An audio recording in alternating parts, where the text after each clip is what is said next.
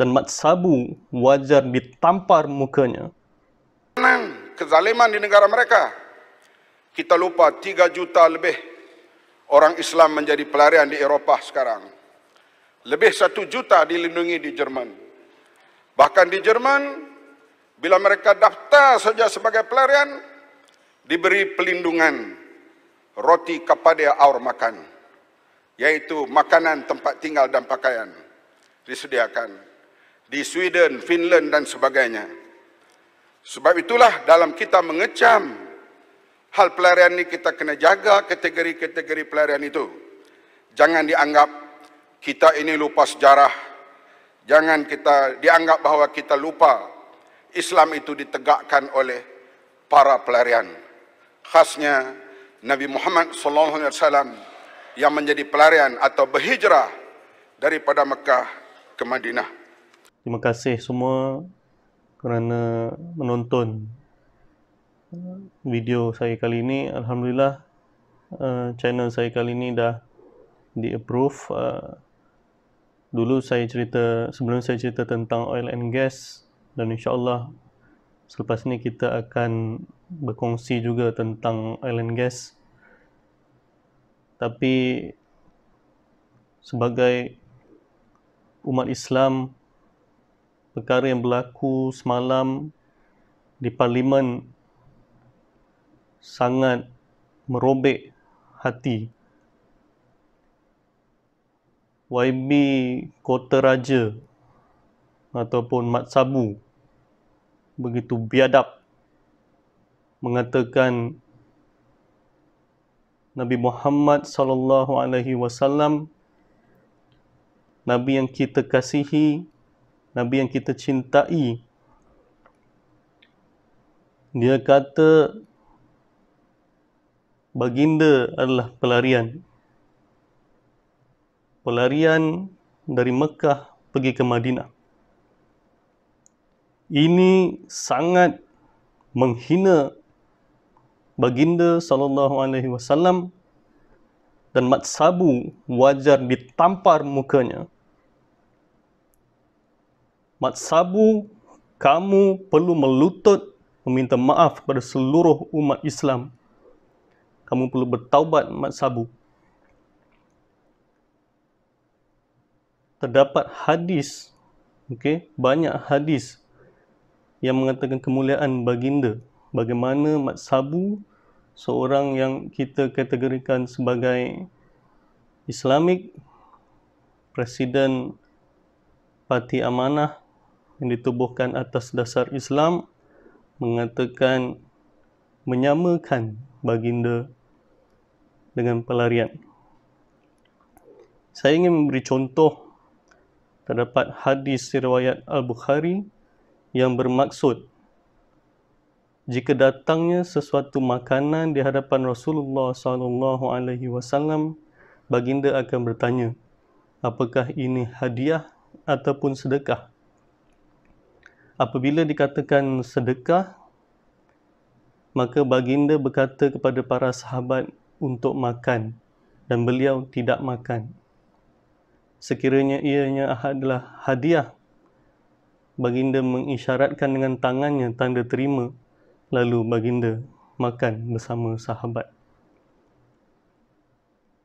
Teman-teman kita lihat bagaimana mulianya kedudukan baginda sallallahu alaihi wasallam dalam erti kata makan sekalipun hadiah dan sedekah.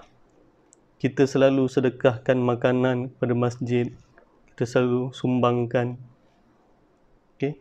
Kita selalu sedekah buat sedekah. Nabi tak terima sedekah. Ialah makanan.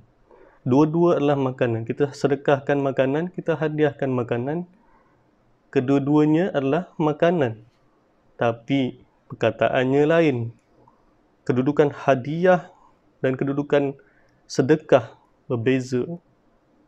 Begitu juga dengan penghijrahan baginda sallallahu alaihi wasallam. Baginda berhijrah daripada Mekah ke Madinah atas seruan atas arahan daripada Allah Subhanahu wa taala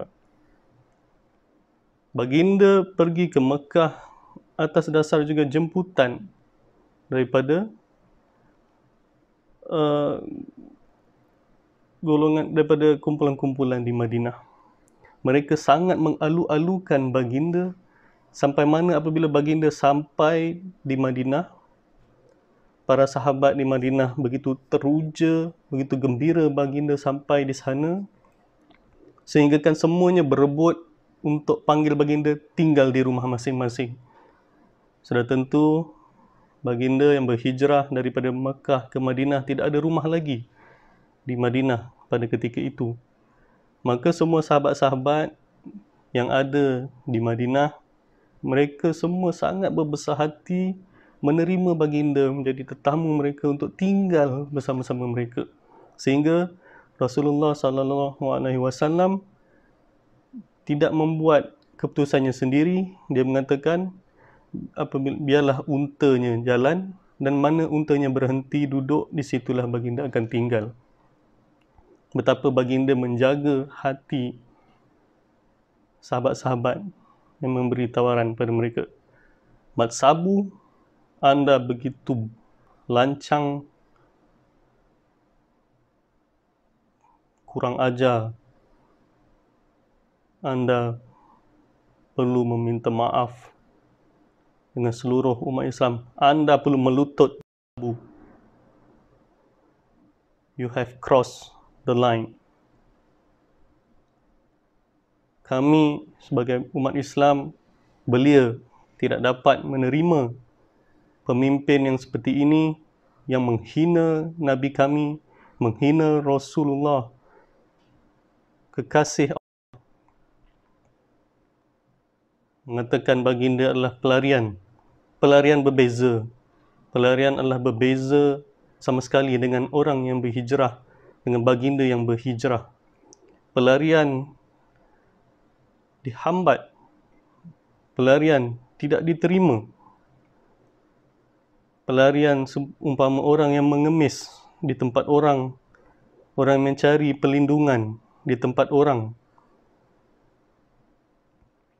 baginda berhijrah dan orang mem- memberikan uh, sangat welcome kepada baginda.